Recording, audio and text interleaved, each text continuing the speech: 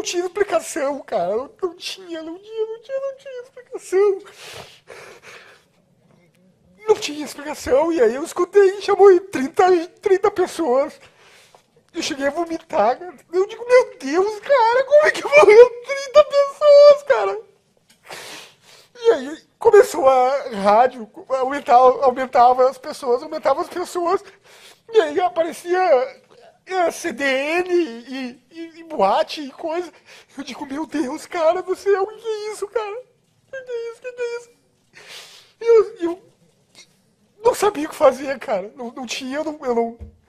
Aí o meu, eu, eu, meu pai tava na praia, eu liguei pra ele e disse, pai, me dá uma, me ajuda, me, me diz alguma coisa e tal. Ele disse, cara, do que, que eu faço? Eu tô aqui.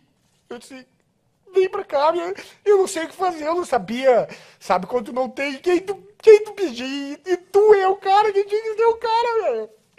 Tipo, eu tinha que, que, que, resolver e eu não sabia resolver.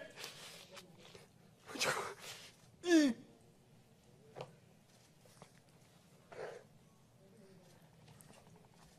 Não tem explicação isso aí. Querem me prender, me prendam, eu tô cansado, cara. Eu sei que perderam gente e tal. E os caras, eu perdi um monte de amigo, cara. Eu perdi funcionário. Vocês acham que eu não tinha amigo lá? Que eu não tinha. Tu acha que eu ia fazer uma coisa dessa, cara? Eu acho que o Marcelo ia tentar apagar o troço. Se ele, que, se ele quisesse matar alguém, cara. Sabe? Desculpa. Tu acha que o Luciano, cara, eu, por que, que eu ia fazer isso, meu? E não é fingimento, cara, eu não aguento mais, cara. Eu tava, eu tava tremendo, cara, eu não sabia. Eu tava sem ar, eu tive que ir lá pegar ar pra dar esse depoimento. Ela vem aqui, mostra a minha banda, e mostra a minha banda, e os guris da banda ficam me mandando, cara, qual é que é dessa mulher? Ela, eu não sei mais o que fazer. Querem me prender. O que, que eu vou fazer, cara? Entendeu? Eu, eu não quis isso, eu não escolhi isso. Eu tô. Desculpa, desculpa de coração, porque eu tenho que me, me conter, mas não tenho mais, eu não aguento mais, cara, eu não aguento mais. Eu, Cara, eu, hoje eu sou pai. Tá? Eu sou pai. E eu sei que minhas filhas um dia vão ir. Eu disse, me leva na delegacia. Eu disse, me leva na delegacia. Aí me, na descida tinha um gol, me levaram na delegacia. Cheguei lá, me apresentei na delegacia. E disse. Eu disse.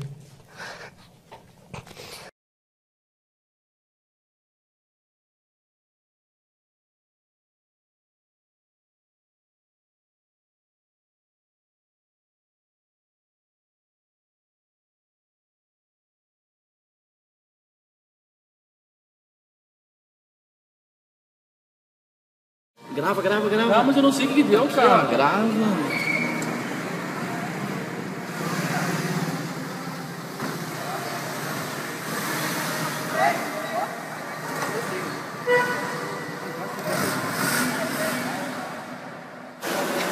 O que aconteceu, filho? Esse aí, olha. Aonde? Ah, vamos lá, vamos lá.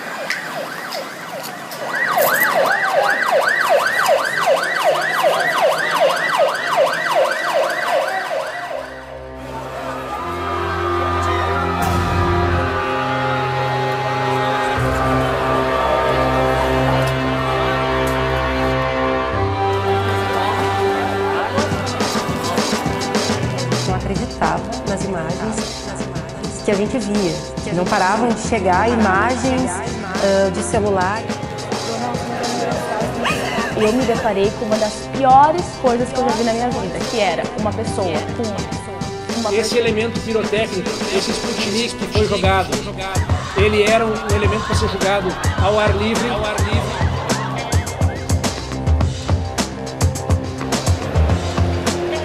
Queria que o Brasil conhecesse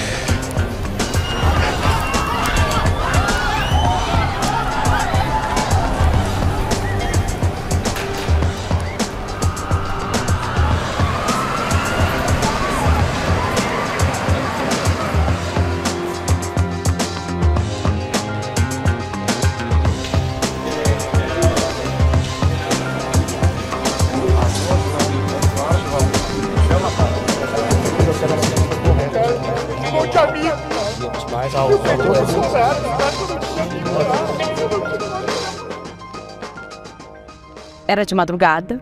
Eu lembro que a Simone Miller, que era a chefe de reportagem, me ligou Eram umas 13 e meia, talvez. 13 e pouco da manhã, assim. E me ligou e disse: Gabi, é, teve um incêndio numa boate em Santa Maria e tu tem que vir pra TV. Tu vai pra Santa Maria. Tá, daí eu, tá, mas como assim que incêndio? Não, a gente tem as, as informações estão chegando, a gente tem aqui que são quatro mortos. Os meus pais só souberam que eu estava em Santa Maria quando eles me viram depois na cobertura. E aí eu comecei a, a olhar os sites de notícias, as agências, e aí eu, eu tive noção de que era algo muito, muito grande. Eu me arrepio assim só de, de lembrar. E eu peguei minhas coisas, eu não liguei para a redação, eu simplesmente fui. Porque eu sabia que numa situação como essa, uh, toda a equipe precisa se envolver, né? E as pessoas começaram a chegar na TV sem, sem, sem, sem serem chamadas, porque era tão grande aquilo. Quando eu vi a TV estava cheia. E eu lembro assim, é, a gente foi sem saber nada, como que era, onde é que era, a gente foi. Simplesmente entramos no carro e nós fomos. A cada quilômetro que rodava, aumentava o número de uma pessoa morta. Então era assim, saímos de Porto Alegre com quatro, cinco mortos, depois eram nove mortos, depois eram onze mortos, depois eram vinte mortos, depois eram trinta mortos e aquilo não acabava. Não estava acreditando no que estava acontecendo, era uma coisa muito estranha, uma coisa, não sei nem explicar o sentimento, eu estava impactada com o que eu estava ouvindo assim, e imaginando o que, que eu ia encontrar lá.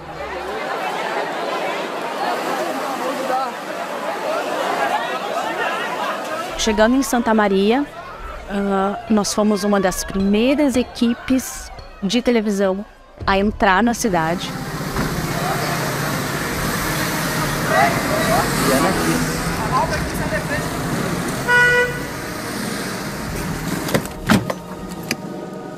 Eu falei, vamos pro Farrezão.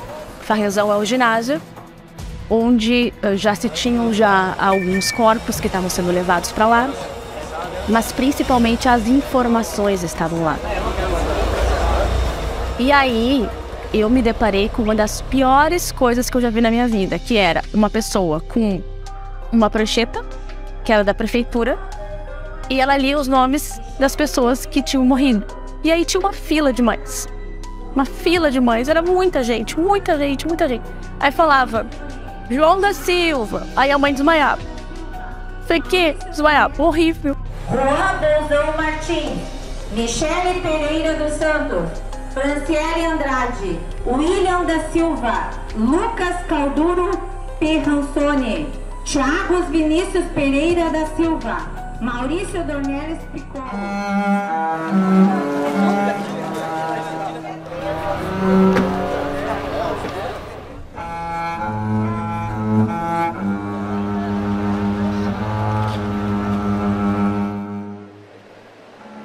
Verdade, eu não tô acreditando ainda, sabe? É, eu tô em choque ainda, eu acho que parece que eu tô vivendo um, um, pesadelo e que amanhã eu vou acordar e ele vai estar na minha frente dizendo que ele tá bem. Ele era muito carinhoso, preocupado, cuidava de tudo, estudioso, organizado com tudo. A notícia que os seus filhos tinham morrido, a gente, eu disse pra ele, não quero ter isso, porque eu, isso, isso é além. Naquele momento, pra mim, aquilo era além da notícia. Vou ter essa força, mas com certeza eu vou. Eu tive uh, a missão de ficar em Porto Alegre. Eu fiquei lá na, na Redenção. Então a gente ficou com uma unidade móvel o dia inteiro lá. E a gente ficou acompanhando a chegada dos helicópteros, trazendo os pacientes. Essa moça é sua filha, né? Essa é, é a Angélica, então. É Ela está indo para Porto Alegre? Como eu estava falando, está sendo removida então para o Hospital de Clínicas em Porto Alegre, né? Onde tem uma, uma, uma, uma, equipe médica especializada e ali também equipamentos maiores, né? Então a gente está é, na expectativa assim que vai dar tudo certo. Como é que é o estado de saúde dela nesse momento? É, segundo assim, o, a, a, médica, é, é, o estado dela é estável, né? Nem eles assim têm uma, um quadro clínico assim tão é, claro em relação a isso. Eu me lembro que os primeiros pacientes iam direto ali para o hospital de pronto-socorro e depois alguns outros foram para outros hospitais uh, aqui da capital. Um avião com sete feridos na tragédia em Santa Maria pousou por volta das 5 horas da madrugada no aeroporto Salgado Filho, aqui na capital. E cerca de 40 minutos depois, sete ambulâncias partiram com pacientes em direção aos hospitais. Todos os feridos trazidos para Porto Alegre estão em estado grave. Era o tempo inteiro a gente ia lá tenso. Uh, aí nos avisavam, olha, tá saindo agora, mais um paciente aqui de Santa Maria vai chegar um helicóptero assim, assim, assado, já, já eram aquelas ambulâncias, né, todas estruturadas ali, e a gente ficava o tempo inteiro entrando ao vivo na programação para contar o que estava acontecendo. Eu me lembro que a gente ficava olhando para para TV, assim, para transmissão ao vivo, e a gente não acreditava nas imagens que a gente via. Não paravam de chegar imagens uh, de celular, imagens da madrugada, e a gente não conseguia entender o que estava acontecendo. Era, era algo assim muito, muito fora da normalidade. Foi aqui que um dos bombeiros contou uma das histórias mais chocantes da tragédia. No celular de uma das vítimas, perdido dentro da boate, ele viu 104 ligações não atendidas.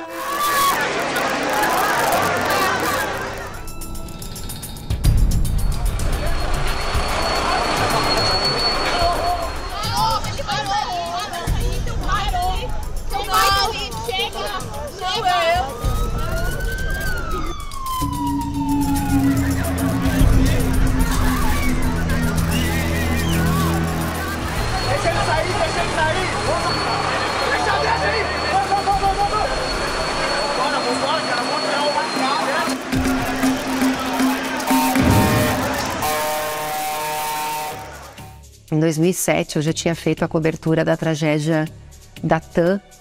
Então, eu já tinha feito uma cobertura de fogo, incêndio, uh, aquela coisa dos familiares, trabalhar mais de 18 horas. Mas aquele dia foi algo assim muito forte, porque inclusive uma das nossas colegas que estava ali trabalhando, correndo, tentando apurar, daqui a pouco ela descobriu que a prima dela estava lá. Vítimas são colocadas nas ambulâncias. No meio da intensa movimentação do SAMU e dos bombeiros em frente à boate, clientes passam atordoados. Alguns precisam de apoio. Muitos deitam no asfalto para se recuperar. Os poucos que se sentem melhor abanam quem ainda passa mal. Clientes tentam ajudar e usam a própria roupa para cobrir o rosto. Vítimas são retiradas. Do lado de fora, mais pessoas no chão. Todas parecem desacordadas.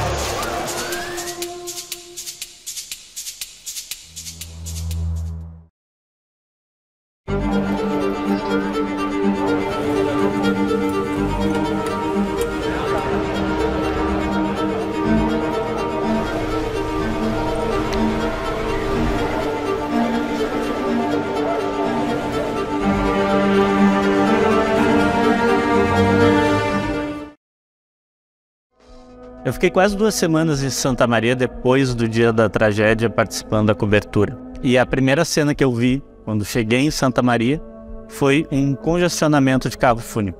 Entrando no cemitério da cidade, que fica um deles na entrada assim, de Santa Maria. Aquilo foi um choque, né? Eu tinha começado a cobertura de longe, aqui em Porto Alegre, e esse foi o primeiro contato com a tragédia em loco assim, que eu tive, e foi algo bastante impactante para mim a gente ficou com uma tarefa, eu acho que das mais difíceis naquele momento, que era justamente fazer contato e conversar com as famílias das vítimas.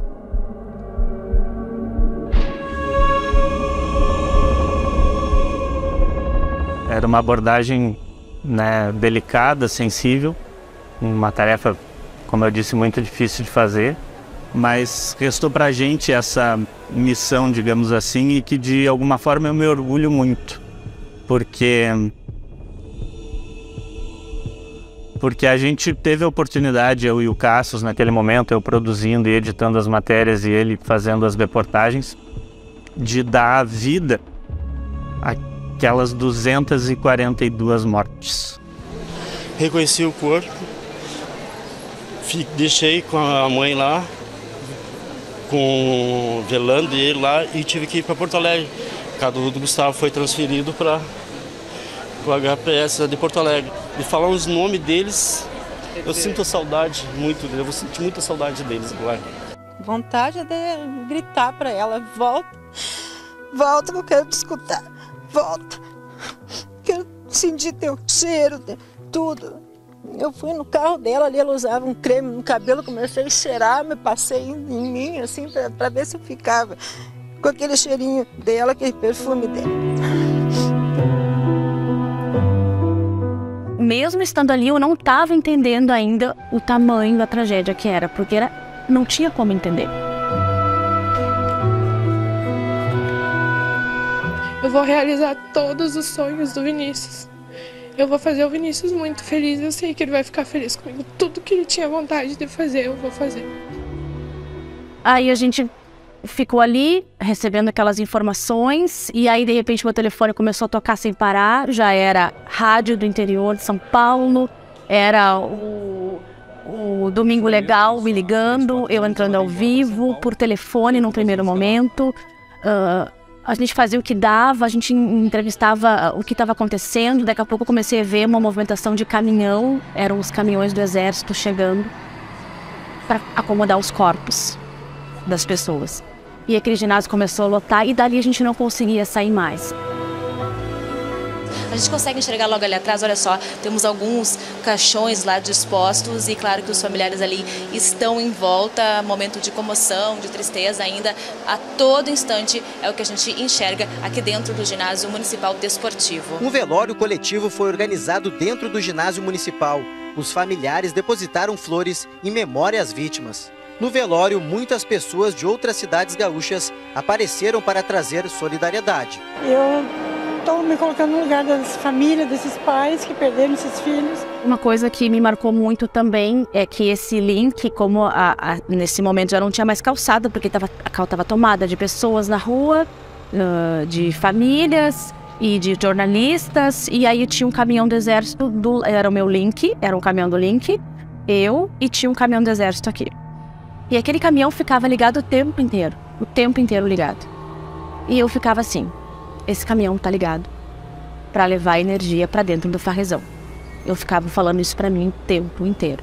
Esse caminhão tá ligado para levar energia para o farrezão, mas não é. Tinham corpos lá dentro. Só que se eu parasse para ver que tinham corpos de pessoas ali dentro do meu lado, eu não ia conseguir fazer a entrada ao vivo informação de que todos os corpos foram identificados. Exatamente, todos os corpos foram identificados e todos foram, à exceção de um, de um que ainda está no caminhão frigorífico ali, aguardando a família que vem, mas já está identificado, que venha para fazer o recebimento desse corpo. E era muito trabalho, era muito exaustivo. A gente trabalhava 14, 16, 18 horas por dia atendendo é, o jornalismo do SBT para levar né, para as pessoas as informações que a gente apurava. E além de toda essa carga de trabalho exaustiva, do clima extremamente pesado e triste pela dor daquelas famílias que tinham perdido tanta gente, o calor de Santa Maria era uma coisa impressionante.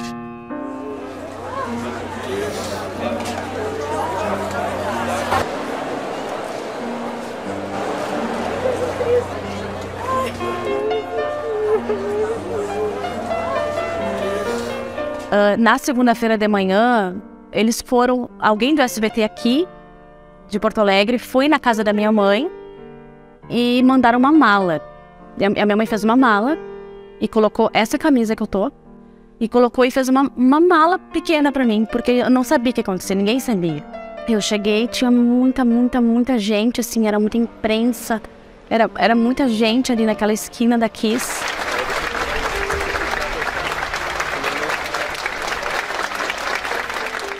A nossa equipe, tanto do jornalismo quanto também a equipe técnica, eh, foram muito eficientes naquele dia. Nós conseguimos, em poucas horas, eh, organizar aquela cobertura com um link ao vivo lá de Santa Maria. Então a gente teve né, uma cobertura ampla, levando aos telespectadores todas as primeiras informações e depois as atualizações. Aí eu fui no carro e me troquei dentro do carro. Troquei dentro do carro eu coloquei essa camisa e me disseram a tua posição é aquela ali. Então eu fui na posição, olhei para um lado Desse lado tava William Bonner, desse lado tava Ana Paula Padrão, que sempre foram referências no jornalismo para todo mundo que é jornalista, e eu tava ali no meio. Gabriela, boa noite. Quais são as novidades nas investigações? Quatro homens tiveram hoje o pedido de prisão temporária decretada. Três deles já estão atrás das grades. Eu estou nesse momento aqui em frente à boate onde aconteceu a tragédia. Vejam só como está a calçada aqui da casa noturna. Muitas flores espalhadas. Durante toda a segunda-feira foi assim. Nestas imagens exclusivas do SBT, é possível ver o assistente de palco da banda, Luciano Bonilha, prestando depoimento à polícia. Ele foi preso durante o enterro de um amigo numa cidade próxima a Santa Maria. Junto com ele estava Marcelo dos Santos, vocalista do grupo Gurizada Fandangueira. Ele é suspeito de ter provocado um incêndio na boate. De acordo com testemunhas, tudo começou por volta das duas e meia da manhã, quando a banda se apresentava no palco. Foi aí que Marcelo usou um sinalizador. As faíscas atingiram o teto, que pegou fogo rapidamente. Desesperadas, as pessoas tentaram fugir. Os seguranças fecharam a saída, mas liberaram a passagem quando viram que era um incêndio. A banda Gurizada Fandangueira era conhecida na cidade e, segundo os próprios fãs, sempre fazia apresentações com fogo durante os shows, mesmo em lugares fechados, como a Boate Kiss.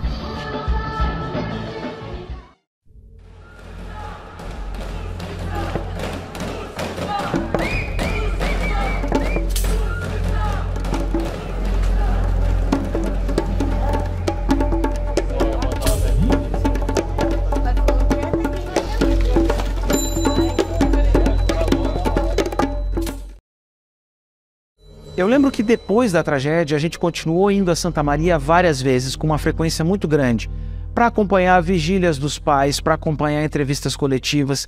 E o que eu percebi na cidade foi que havia uma tristeza muito grande que se abateu sobre Santa Maria.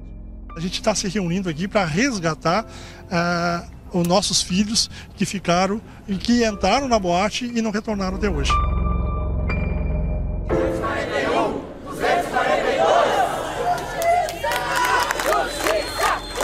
Tem que ser por uma força maior, né, que está nos unindo aqui para ver se há justiça. Às três horas da madrugada, no momento que o incêndio começou na Boate Kiss, os organizadores da vigília fizeram ainda mais barulho para relembrar o um ano da tragédia. A gente vai dando a volta por cima, tentando, vai reconstruindo a vida porque é difícil. A cidade tinha um, um ânimo, uma vibração muito interessante era, era uma cidade universitária, uma cidade para cima, em que a gente percebia as pessoas na rua, as pessoas uh, conversando, confraternizando.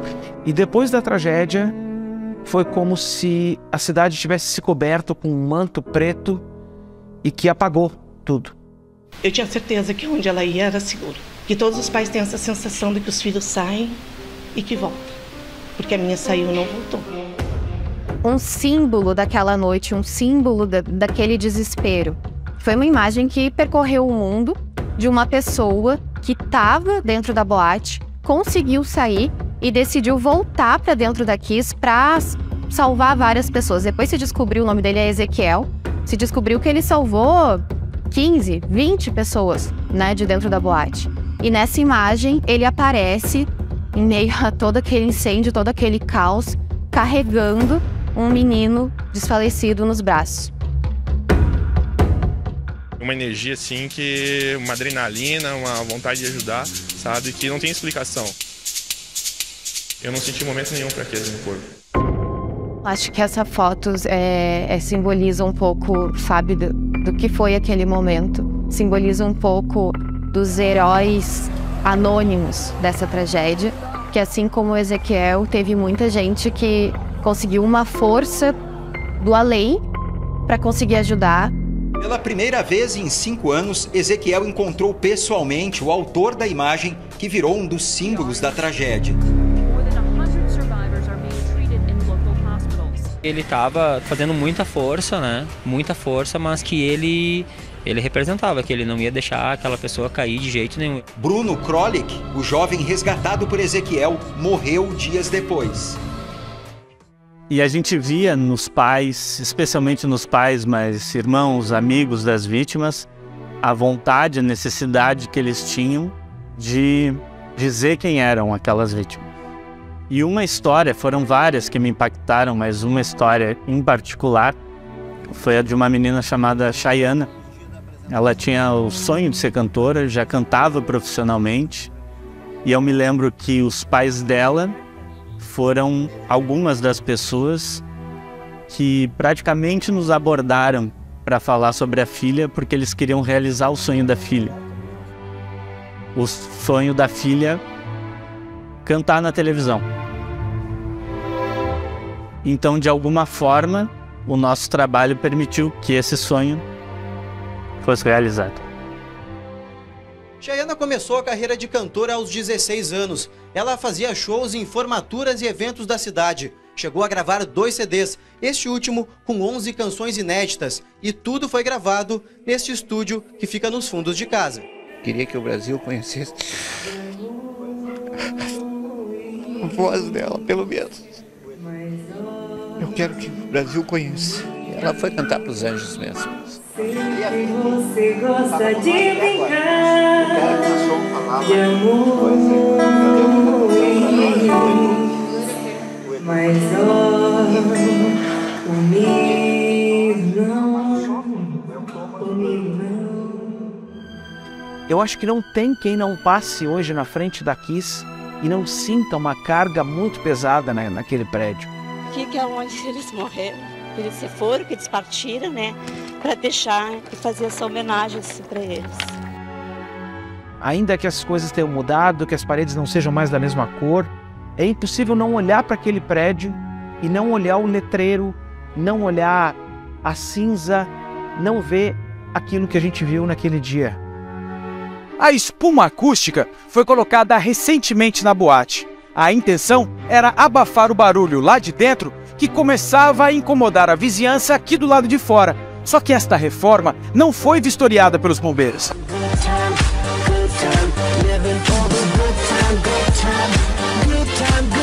A Boate Kiss funcionou durante três anos e meio e, segundo as investigações da polícia, jamais operou um único mês dentro da lei. Uma das perguntas que ainda revolta os familiares é como a boate ficou aberta todo este tempo sem que as autoridades tomassem providências. Que extintores não funcionavam, de que os extintores pudessem ser adquiridos, inclusive falsificados alguns.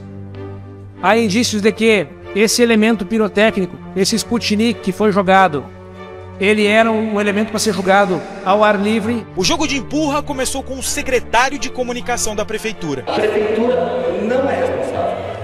A prefeitura estava com toda a documentação regular e a fiscalização que lhe competia foi feita. Matheus é um menino de 20 anos, foi atleta da seleção gaúcha, seleção brasileira. Fez muitas cestas. Oh, meu Deus, o que vai ser de mim agora? Um herói que deu a vida dele.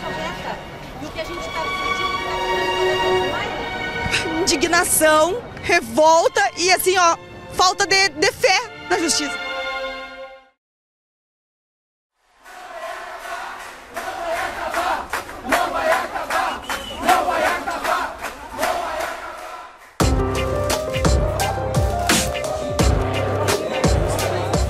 A gente está assim, bastante confiante nas decisões da, da polícia. É, a gente vai ter. Acho que ah, os familiares vão ficar satisfeitos. E chega num, num tribunal, numa, numa, numa, quarta câmara, e ser julgado banalmente com qualquer crime simples e mandam libertar os quatro. A gente tinha uma, uma, uma esperança, uma confiança que eles iam permanecer presos. Os familiares ainda convivem com a revolta e a desilusão.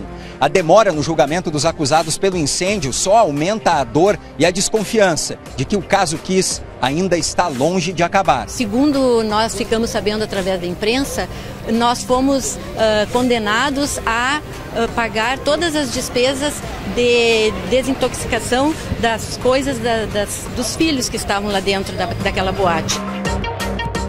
Esse plenário do Fórum de Porto Alegre foi construído para receber o julgamento que será o maior da história no Rio Grande do Sul.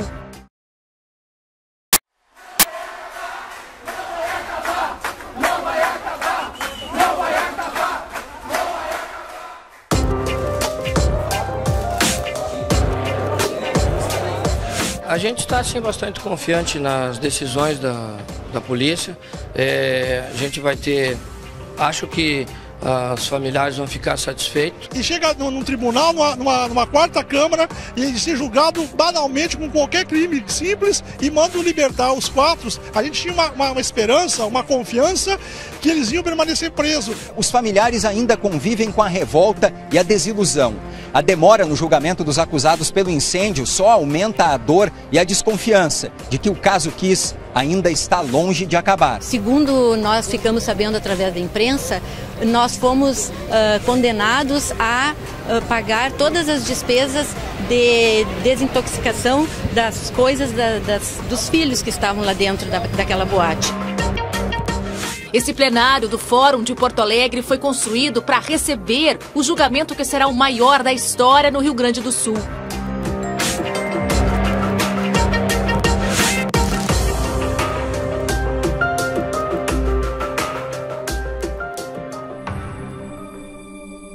Essa era a nossa visão ali, né? Que a gente ficou o tempo inteiro na, no, na plateia ali, no, no público, né? Que assistia o julgamento. E eu acho que quando veio a notícia de que ia ter esse júri, todo mundo da imprensa se preparou muito, porque era uma uma grande missão, era o maior julgamento da história, o maior júri da história.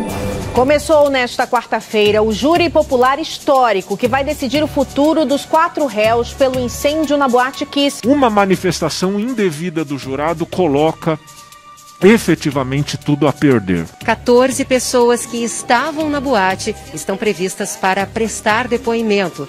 Depois, 19 testemunhas serão chamadas. Os réus, dois ex-sócios da Boate Kiss e dois integrantes da banda Gurizada Fanangueira vão a júri popular.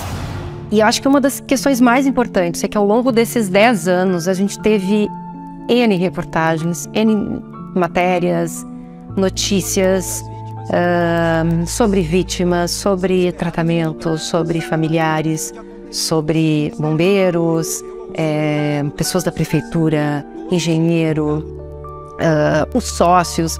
Só que era tudo algo assim que ficava meio separado, né? Então, uh, eu acho que o julgamento ele tinha essa força de que ele ia reunir todo mundo nesses dez dias. Justiça, justiça. É uma condenação que para mim é inquestionável. Todos esses anos, todo esse tempo, a gente esperando, sofrendo. E a justiça nada. Do lado do Foro Central de Porto Alegre, uma tenda foi montada para receber as pessoas. Atendimento médico e psicológico também foi disponibilizado. Calma, calma, calma, calma, calma, calma, calma, calma, calma. Ele colocou esse inocente aqui. Ó, doutor. Ele colocou. Botou. Pode parar. Não. Doutor Jean, para, para, doutor. Aqui não é a competição de quem grita mais alto. Se for, se for, eu falarei mais alto o senhor. O júri do Luciano Bonilha foi marcado para 2020, março de 2020. E ele seria julgado sozinho lá em Santa Maria. As pessoas queriam meio, especialmente eles, né, que, que eram os réus ali, não, não queriam falar antes, né, do, do julgamento, queriam se distanciar, especialmente o Luciano. Ele seguiu a vida, ele seguiu trabalhando, ele queria se distanciar dessa tragédia. E aí a gente pensou, bom, chegou a hora de, de tentar ouvir ele. E aí começou a negociação pra gente ver se conseguiria, né? Ouvir o lado dele. E, e foram alguns um tempo aí falando com os advogados, até que ele disse: não, eu quero falar. A gente exibiu a entrevista do Luciano Bonilha no SBT Brasil em 2020, pouco antes uh, da data em que ele iria a julgamento. Luciano Bonilha, réu na tragédia da Boate 15 em Santa Maria, no Rio Grande do Sul, fala pela primeira vez a uma emissora de televisão brasileira. Ele é acusado de comprar os sinalizadores que provocaram o um incêndio. Não pode imaginar que tu vai entrar dentro de uma casa, que seja um labirinto, que tenha espuma, que seja tóxico e tu possa matar as pessoas em 3, 4 minutos. Eu acho que se criou durante o julgamento uma ideia de que, como havia muitos culpados, os réus que estavam lá não eram exatamente os principais culpados dessa tragédia. E, e isso foi muito forte, porque a gente começou a ser muito criticado, a gente como imprensa. Ah, mas coitados, eles não tiveram a intenção. Ah, coitados, é, eles não pretendiam causar tudo isso. E aí a gente olhava os pais despedaçados. Eu ficava pensando, mas e a culpa é de quem é deles?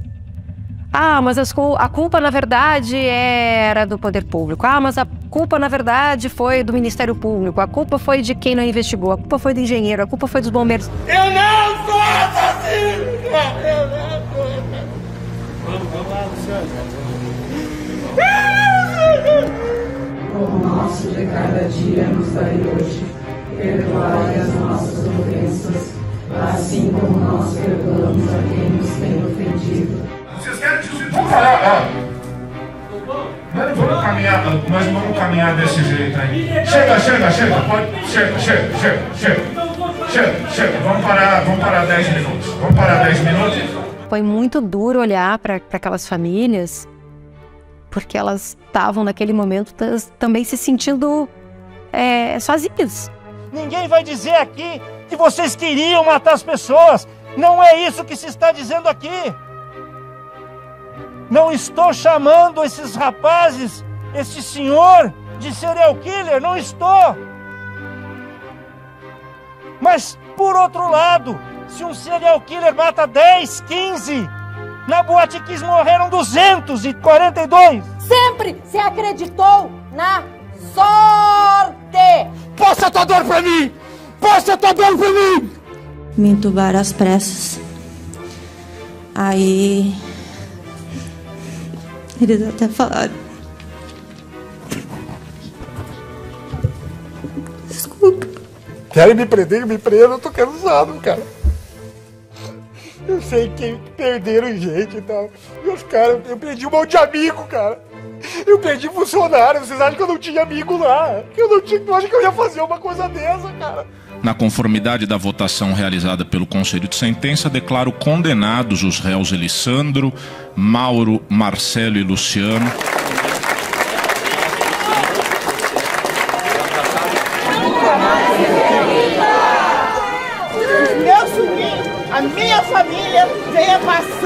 Pelo que nós passamos. Eu achei que eu não ia conseguir chegar aqui hoje, nesse dia nesses nove dias de julho. Os pais que passaram isso sabem o que, que é perder um filho. Tu tá alegre, eu lembro do Ariel. Se tu tá triste, eu lembro do Ariel. Então, isso é uma coisa que a gente vai levar pro resto da vida. Deixa eu te dar um abraço, por favor. E eu acho assim que a gente tentou se preparar, mas foi muito, foi muito forte. Nós até silenciamos as famílias no plenário para que elas não Nós se manifestassem, para que elas não se manifestassem, para que elas não anulassem o julgamento. E nós esperamos que agora as cortes do Brasil possam fazer sua parte. A Justiça do Rio Grande do Sul anulou agora há pouco, por dois votos a um, o maior júri da história do Estado. Como fica a situação dos réus a partir de agora? Com a anulação